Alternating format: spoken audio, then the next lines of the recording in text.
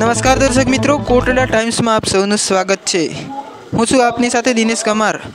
પોશીના તાલુકાના એકલવ્ય શ્રમિક સંગઠન દ્વારા પોશીના મામલતદાર કચેરીએ આવેદનપત્ર આપવામાં આવ્યો અને વધુ માહિતી જાણીશું મિલન પરવાર પાસેથી. તો આવો સૌ જાણીએ.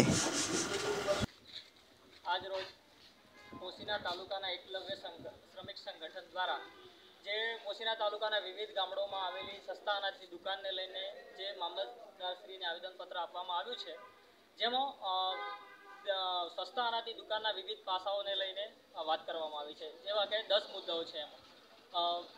રેશન રેશન કાર્ડ ઉપર જે અનાજ આપવામાં આવે છે, એના ઉપર બિલ આપવામાં આવે સોસાયટી દ્વારા.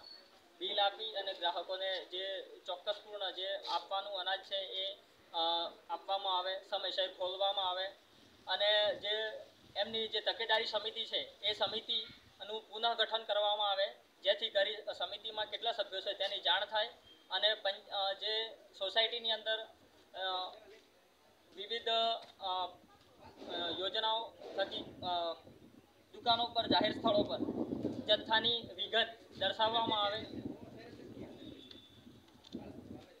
દરેક રાશન કાર્ડ ધારકોને મોબાઈલ નંબર ઉપર જેમને જથ્થો લીધો છે, તેની અપડેટ નાણાં ચૂકવ્યા છે, તેની વિગત આપ એસએમએસ દ્વારા પ્રાપ્ત થાય એવી વ્યવસ્થા ઊભી કરવામાં આવે.